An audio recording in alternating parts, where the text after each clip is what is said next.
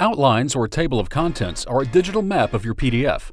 They quickly guide you through pages to the most important parts of the file. When you're navigating through a 300-page book or a report, endless scrolling is not what you need. It is much easier to switch between handy outlines, especially if you use PDF Expert. If there is a table of contents available in the document, you can see it by clicking the Outlines tab at the sidebar. Sometimes there may be no outlines at all and you have to create them manually. There are two simple ways how to do that in PDF Expert. The first is to select a few words that should be linked to this page.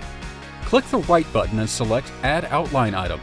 The outline item will instantly appear on the sidebar of the app. Easy.